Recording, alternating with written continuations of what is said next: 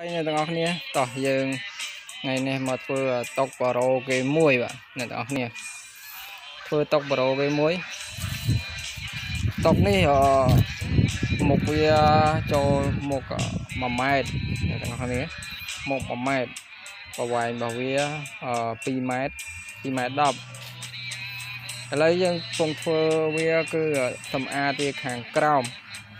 យើងសម្អាតវាខាងក្រោមឲ្យស្អាតហើយ យើងធ្វើការលាបតំណប់វាលាបតំណប់វាតុប៉ារ៉ូនេះគឺស្អាតមែនតើធ្វើស្អាតមែនតើអ្នកទាំងអស់គ្នា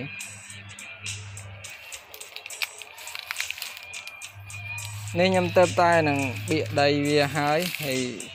យើងធ្វើការវាយវាបានខ្លះហើយវាយនឹងម៉ូទ័រ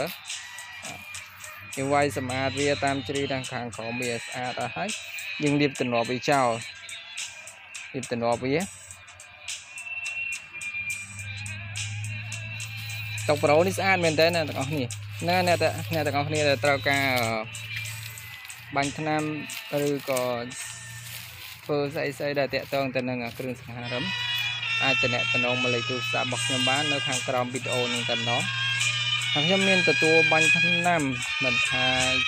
ជាកៅអីឬក៏ជាតុកឬក៏ជាស្អីទេខ្ញុំទទួលបាញ់វិញទាំងអស់ បើពេញចិត្តនៅ channel មួយនេះកុំភ្លេចជួយ subscribe នៅ channel នេះផងអរគុណអ្នកទាំងអស់គ្នាដែលបានតាមដាននៅវីដេអូនេះជួបគ្នានៅវីដេអូក្រោយៗទៀតបាទ